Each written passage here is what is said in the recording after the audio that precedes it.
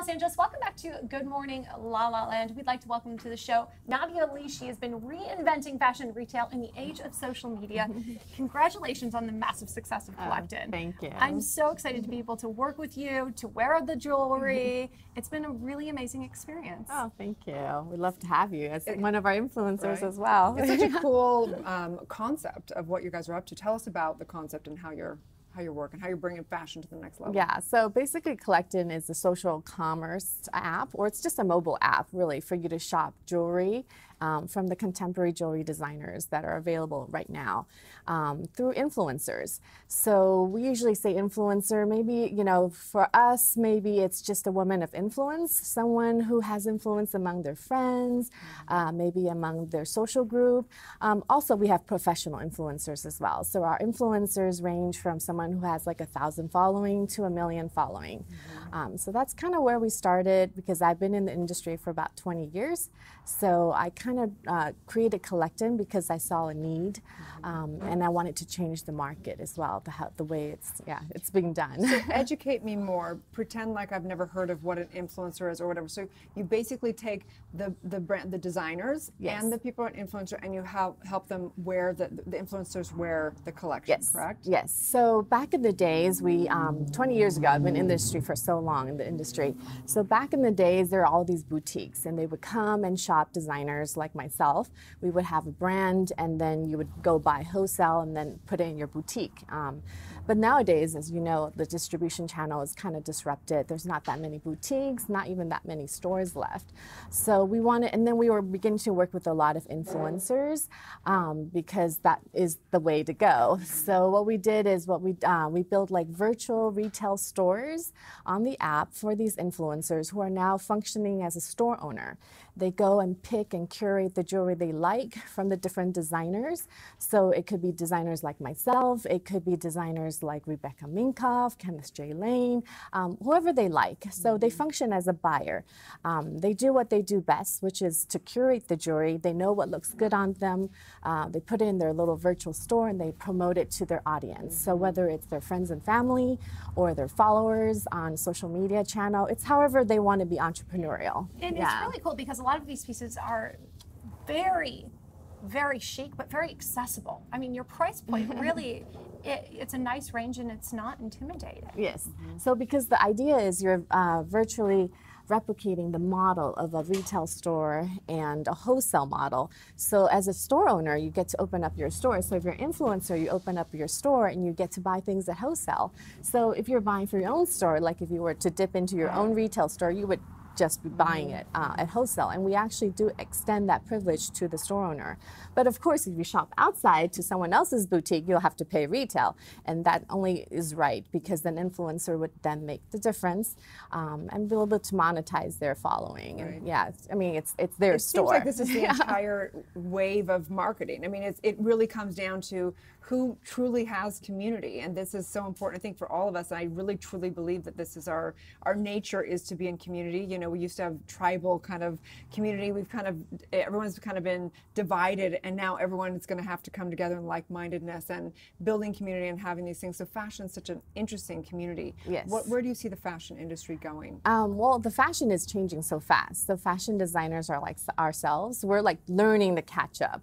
Um, so fashion is it's like everyone needs fashion.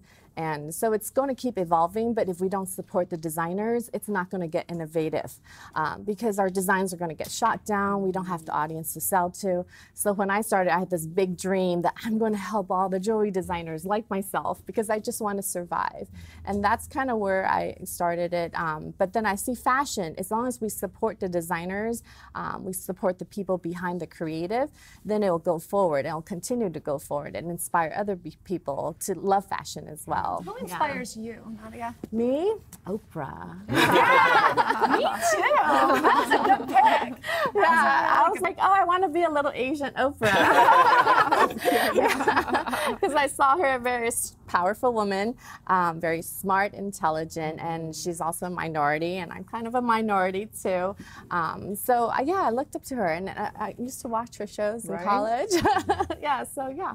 She's my yeah. She's we all of Oprah. She was, a, she was an OG influencer, right? Yes, right. She's the first major influencer. So if I would say that I um, am out there somewhere in the world and I have a social media account, Yes. okay, and I want to be an influencer and I want to, you know, partner with you and participate, how can I get involved? yeah, you just contact us. Yeah, it's that easy. Yeah. It's that easy. Or if you have a friend who invites you, um, it's like a referral service. Um, and then we just look at you and, and see, you know, like yeah, we have some criterias that you have to meet. Um, invite some friends. We got to make sure you actually have friends, um, that you actually love jewelry. Um, just simple criterias. And there's different levels of influence that you can work your way up to. So we won't just like throw you in there with all of our big influencers that have like a million followers.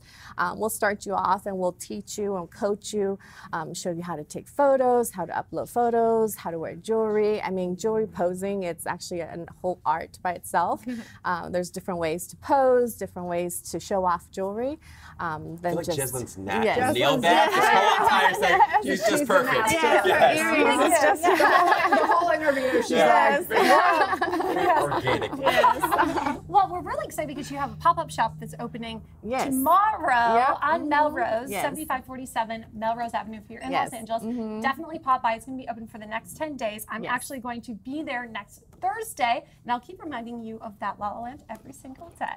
Yes. So tell us a, a little bit about the shop. So the whole idea is that we wanted to just showcase all the jewelry and the designers and also the influencers virtual boutiques in a in a place that people can go to and just check it out. So we have a pop up for 10 days and the whole theme is about women empowerment because we want to encourage all the women to come and check it out and to learn to be entrepreneurial, um, to kind of uh, talk to other women of influence, um, to talk to other just women entrepreneurs. So we have people from like uh, founders of beauty companies um, to influencers like Jaslyn.